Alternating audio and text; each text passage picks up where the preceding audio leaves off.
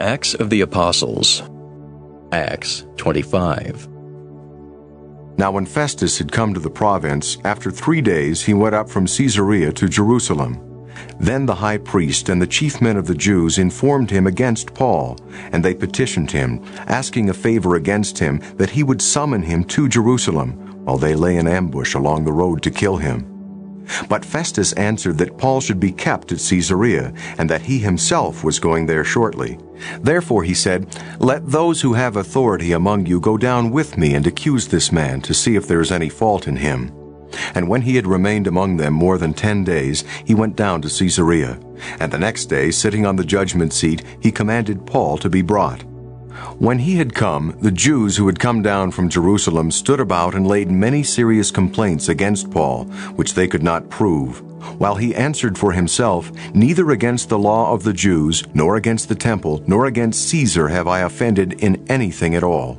But Festus, wanting to do the Jews a favor, answered Paul and said, Are you willing to go up to Jerusalem and there be judged before me concerning these things?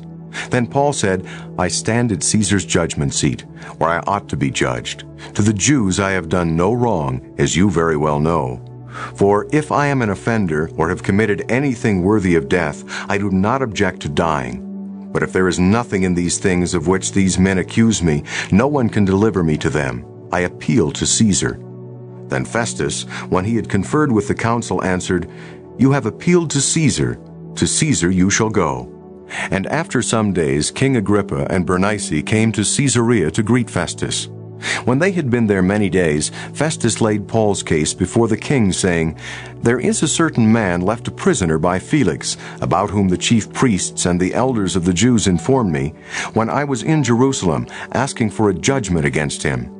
To them I answered, It is not the custom of the Romans to deliver any man to destruction before the accused meets the accusers face to face and has opportunity to answer for himself concerning the charge against him. Therefore, when they had come together without any delay, the next day I sat on the judgment seat and commanded the man to be brought in. When the accusers stood up, they brought no accusation against him of such things as I supposed, but had some questions against him about their own religion and about one Jesus who had died, whom Paul affirmed to be alive. And because I was uncertain of such questions, I asked whether he was willing to go to Jerusalem and there be judged concerning these matters. But when Paul appealed to be reserved for the decision of Augustus, I commanded him to be kept till I could send him to Caesar. Then Agrippa said to Festus, I also would like to hear the man myself. Tomorrow, he said, you shall hear him. So the next day, when Agrippa and Bernice had come with great pomp, and had entered the auditorium with the commanders and the prominent men of the city, at Festus' command, Paul was brought in. And Festus said, King Agrippa, and all the men who are here present with us, you see this man about whom the whole assembly of the Jews petitioned me, both at Jerusalem and here, crying out that he was not fit to live any longer.